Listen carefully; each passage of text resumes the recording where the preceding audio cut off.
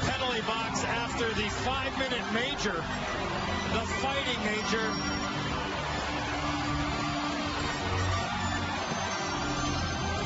For Artemi Panarin with Scottie Upshall and a four-on-three with the, with the penalty winding down the quick little wrist shot up and over Jake Allen. A screen from Toews.